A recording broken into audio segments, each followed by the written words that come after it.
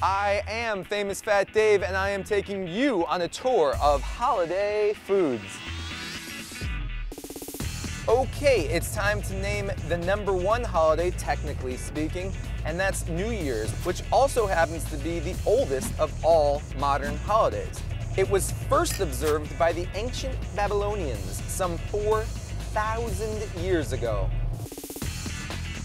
And of course, part of the current tradition of ushering in the new year often includes a champagne toast at midnight. So Eric, what exactly is champagne and what is it not? Champagne is a, a, sparkling wine. It comes from the region Champagne, which is in France, located just northeast of Paris. You put sugar into some still wine, it will go into a second fermentation, and that second fermentation will lead to uh, effervescence.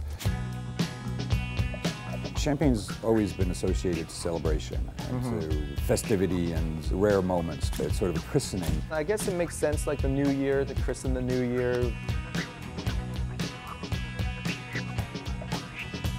I understand that the proper way to open a bottle of champagne, it's not with a, with a pop and a spray. What you want to avoid is for any champagne to be lost. And people get hurt. I've seen people get a uh, yeah. cork to the temple, they're out for the night. I'm grabbing the cork firmly with my hand. Okay. And then just twisting the bottom okay. of the bottle, and then I can just feel it released. Oh, I felt that. I understand that the smaller and faster the bubbles, the finer the champagne. Yep, and in fact, uh, scientists have determined that there are 95 million bubbles in a bottle of champagne. That's a lot of bubbly.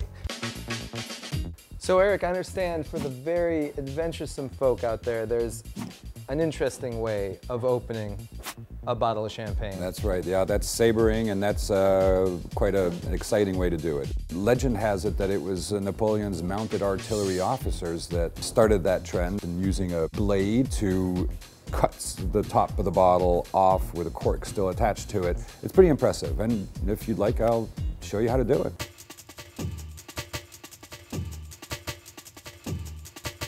Okay, this is the high stakes part of the evening. Now here we've got the bottle of champagne that's rested for a few minutes upside down. Uh -huh. You uh-huh. want the bottle to be very, very, very cold when you saber. Napoleon's, okay. here you go. This is, this might be a bad idea. So you've got the bottle at a proper angle. You don't want the cork to be uh, touching any of the fluid. Okay. And you're just gonna put the blade down, rest it on the shoulders, and, and a follow through movement with the elbow, not the wrist. All right. Oh! Did I do it? Quite simple, wasn't it? Yeah. That was uh, exhilarating. You, I'm yeah, exhilarated right now. Yeah, yeah. Well, let's toast to a happy and healthy new year. That's holiday foods, and that is champagne.